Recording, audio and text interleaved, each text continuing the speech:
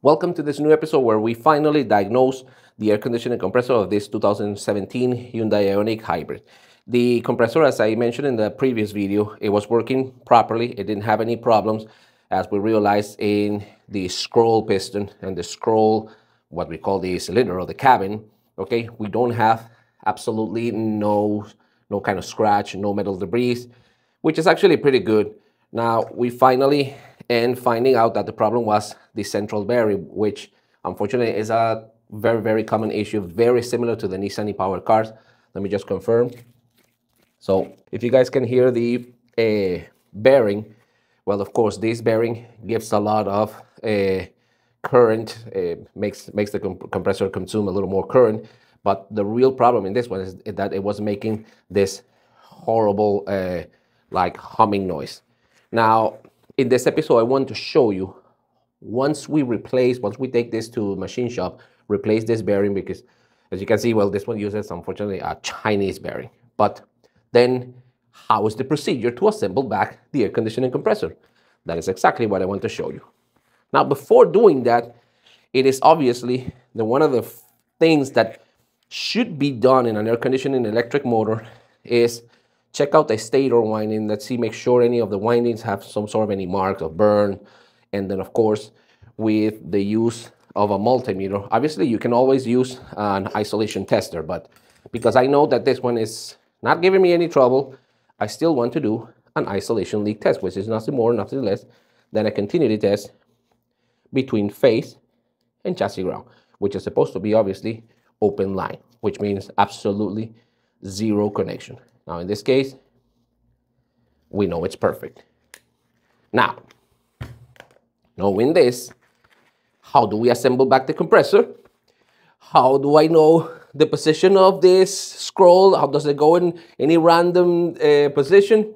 The answer is no. So that is exactly what I want to show you in this in this tutorial. So please don't forget to like and subscribe. If you like our videos, that's the only way that you can help us create way much more amazing educational videos about hybrid electric vehicles. So without wasting any time, let's begin to assemble. So we're going to begin with the stator winding. The stator winding is actually the winds that receive every single of the signal of the pulse width modulation controller, okay? Which is this, this is the controller. Okay, I will show you this in a, a little bit later.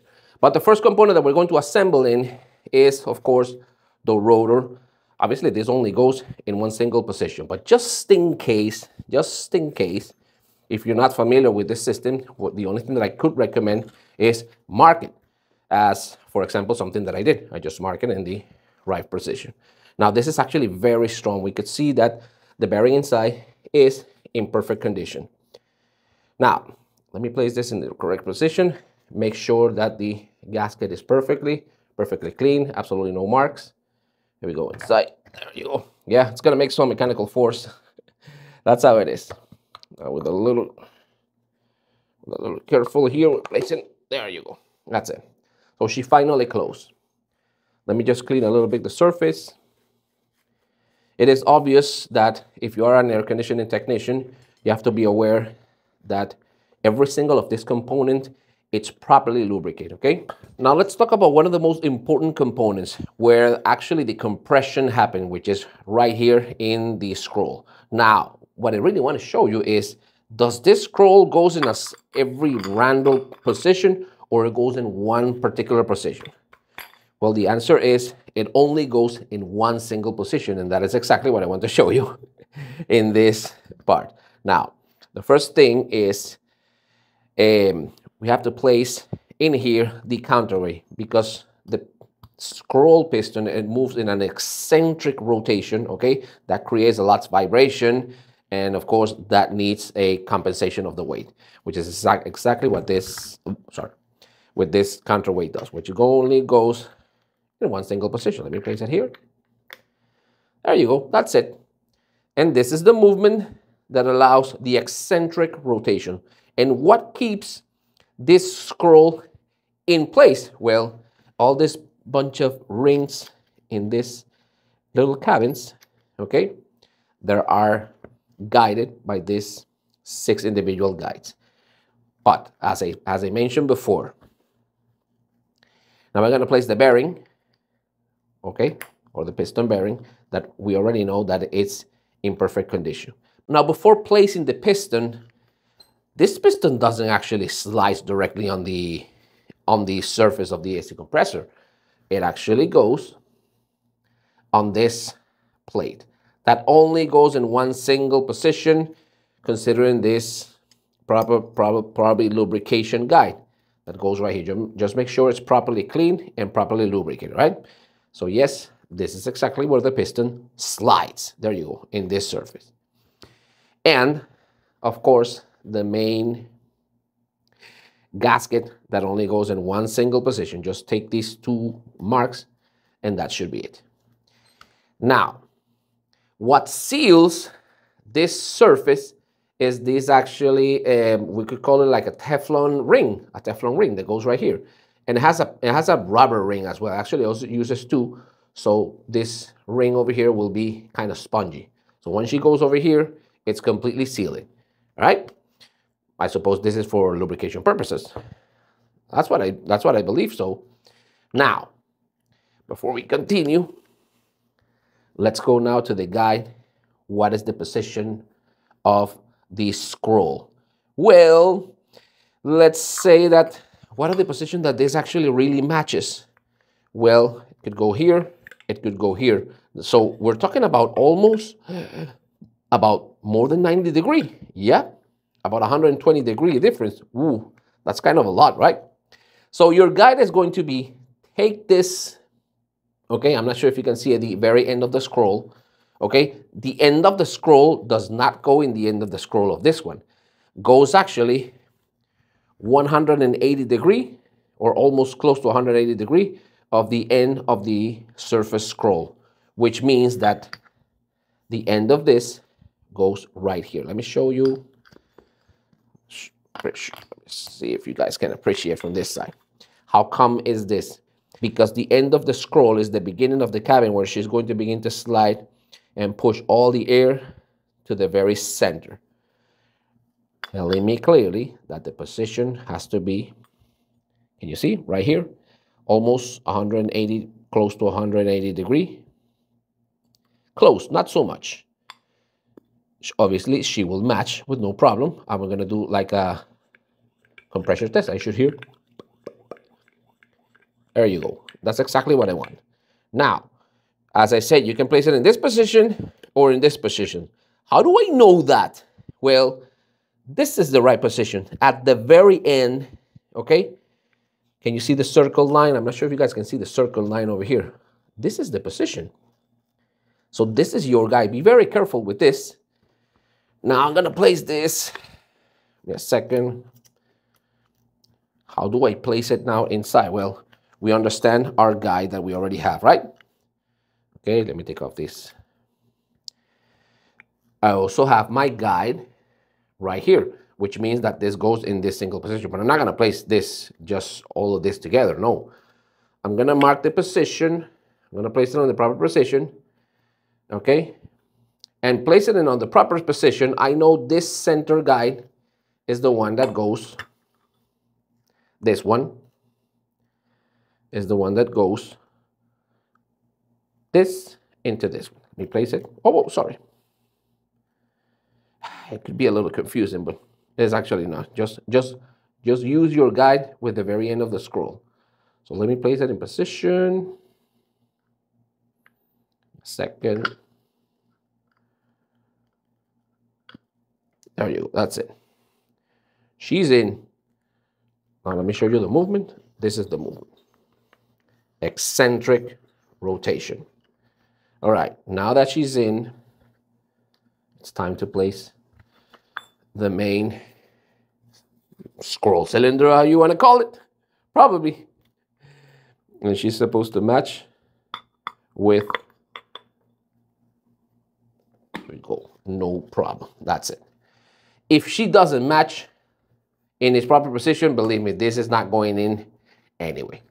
Now, before we continue, we have to place now the exhaust valve. Remember that the scroll piston, it pushes all the air from the sides to the very middle, and this is the output and the uh, like a middle pressure output as well. So these are the flapper valves. It actually uses three in one that goes in one single position like this. There's no guide, there's no nothing. You have to put this. Leave me a second. Yeah, I can't believe this goes like this, but that's how it is. Me a second. All right. Let me show you. So I'm just going to, all right, let me just tie this up first. And then we will, we will, we will center it. That's it. There you go. Center, center, that's it. This is how it is, you know. I'm not sure if you guys are impressed, but I am very impressed that this is so delicate. All right. I'm, go I'm going to There you go. That's it. Pistons are in its position. So now we can continue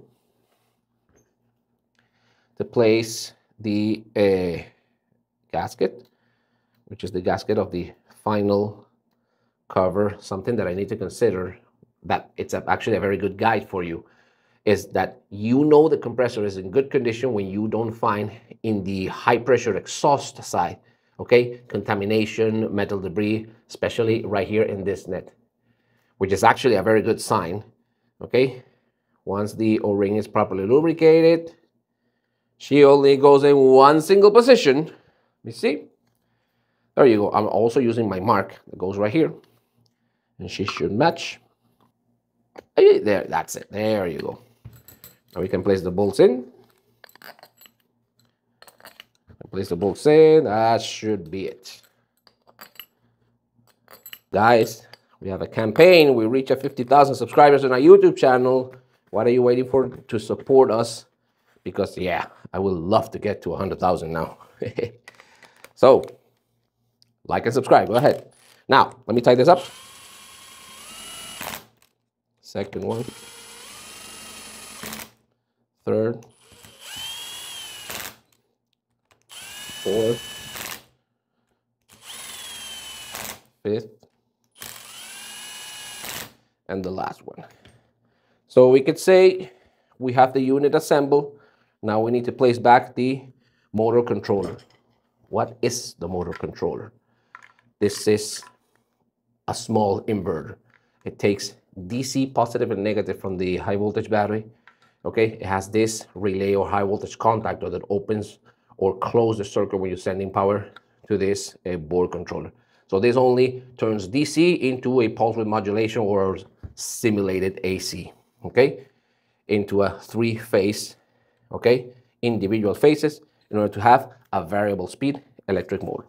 Now, how do we cool down this? Well, this originally comes with thermal paste. Obviously, I remove it, but otherwise we're gonna be sticky as hell. But once you place in this back, you have to uh, put back the uh, lots of quantity of thermal paste because right behind this you have all this bunch of uh, transistor MOSFET with, or a high power transistor.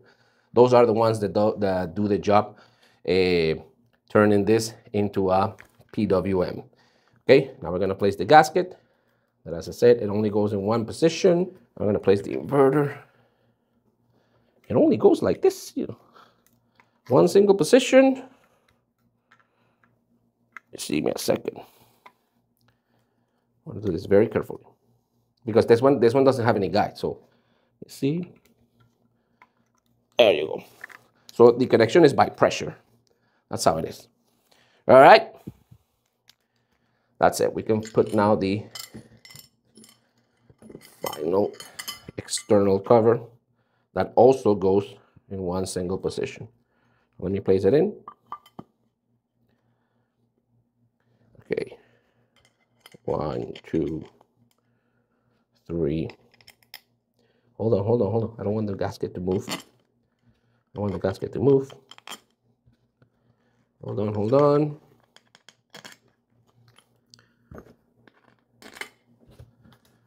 Right. Okay, almost done.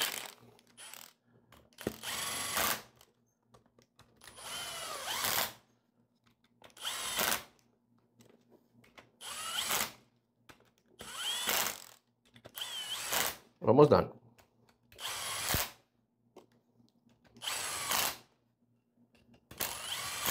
Now this procedure applies very much to every single air conditioning compressor of a hybrid and electric car. They're actually all the very same. They're all scroll type compressor with a central electric motor uh, right in this location. So it shouldn't be uh, such a big challenge.